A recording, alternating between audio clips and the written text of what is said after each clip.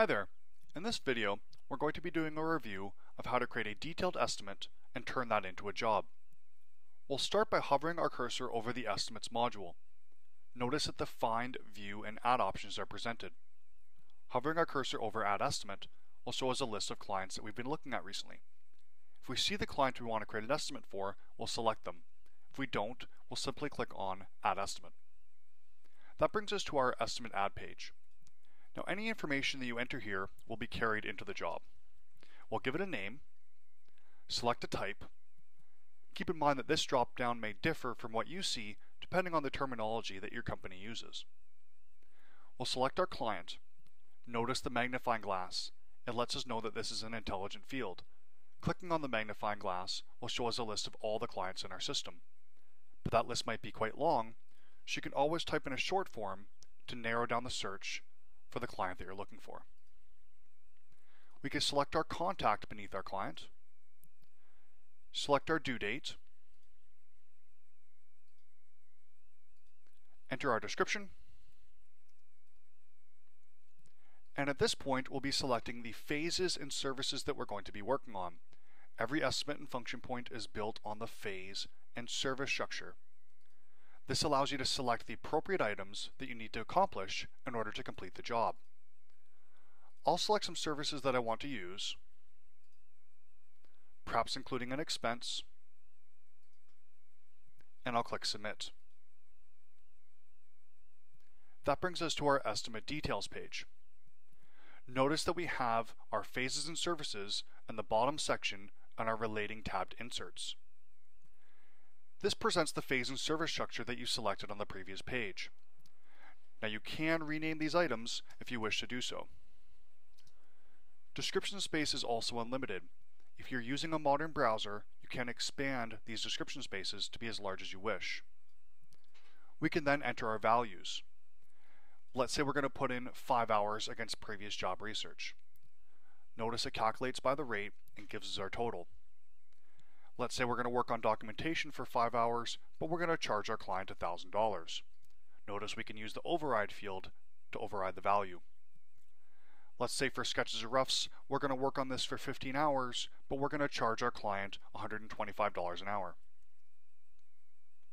The rates will fill in automatically based on the rate category that is default for the client you selected. However, you can make adjustments on the fly if you wish to do so. We then have an example of an internal expense. Internal expenses are items tracked at a number of units as opposed to a number of hours. And we can say that we're going to be providing our client with maybe five color proofs at $25 a piece. Scrolling down, let's say that for design, we know which staff we want to be doing this work. And those staff people have different billing rates. We want to use their rates to create our estimate. This is optional, but what we can do is select the plus icon at the service level. That creates a subunit, and we can then choose to select a staff or a role. We'll say perhaps I'm going to work on this, and we're also going to have, let's say, Dennis work on this as well. We'll put in 10 hours for each of us, and notice that the billing rates can differ based on the individual. We can also enter some date information. Again, this is very optional, and a lot of our clients would assign staff later on, perhaps at the time of creating a timeline or schedule.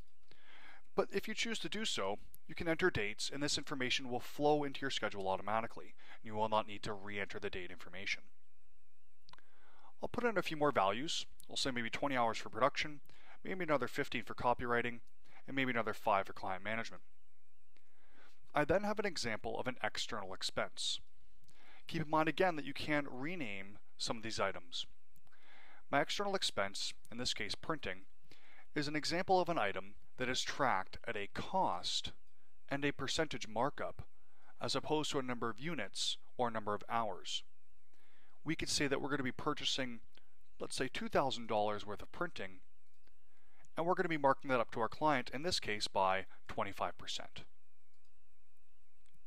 Notice it calculates the markup and gives us our total we now have a total for our estimate.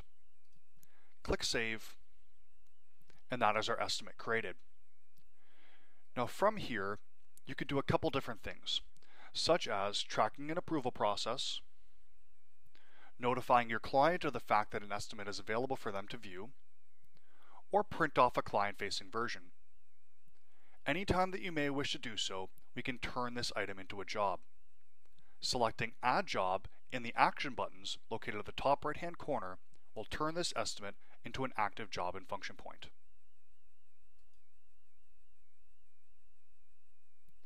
That is the process for creating a detailed estimate and turning it into a job. That concludes this video. Thank you again for your time, and please continue checking out more of our videos for more helpful information on using Function Point.